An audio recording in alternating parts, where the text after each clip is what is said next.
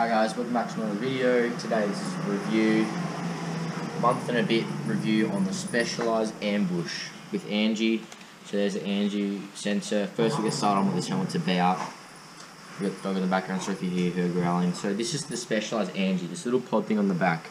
It is an inbuilt, inbuilt crash detector. Yes, I've used it and I've crashed and it's texted my mum. So basically, it detects the violent forces of a crash and if you do crash, it'll send a message through your smartphone so you have to have it connected through Bluetooth and the specialized ride app to your smartphone and it'll activate a 20 or 30 second timer I believe and then you can tell it off, turn off if you're okay or if you really need help it'll send a message to your selected emergency contacts so I have my grandma, my mum and my dad and also if you press start ride on the specialized ride app it'll send a message to the people that you've selected that you're going on a ride.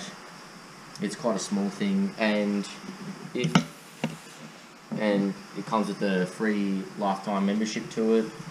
And if you do go on a ride, you can record your ride, and it will track, and they can live track where you are through the Angi sensor. And if you have it synced the right app to your Strava or something or other, it'll upload the ride to Strava. So there's says Angi, anywhere on that, go on the Specialized website and have it all covered there. Next thing is my dog wants to kick the footy, so yep, that's my dog for you. Next thing is the helmet itself. It has a lot of protection systems. It's got a couple of vents, so it's got one, two, three, four at the front here, two more here, two here, two here, heap at the back, and it's a super light helmet. It also comes with this little emergency information thing that you can stick on your helmet. And it's got this nice inbuilt visor. It fits really well. It is a comfortable helmet I wear on my BMX, my mountain bike. Whenever I ride, I always wear it because I don't have a full BMX one, all I do, but it's a bit big and it just, just this just fits awesome. It has MIPS in it, so you can see all the MIPS in there. It has the MIPS protection system, and it's Australian standard helmet. Got the adjust system, so it has a dial at the back right here. That adjusts it there, that little yellow dial. That will adjust the helmet. It's got MIPS in there really light helmet. The visor, if you do crash, it'll go back like that. Give you another one on that. Like that. You can set it any position, or you can put your goggles there, I guess.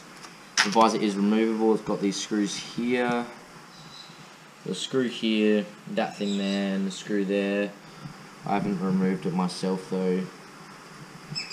Other than that, it's an all-round great helmet. No problems with it. It has a clip.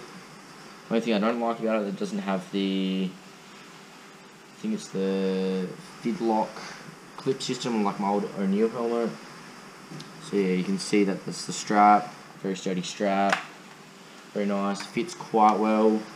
Your thing on it.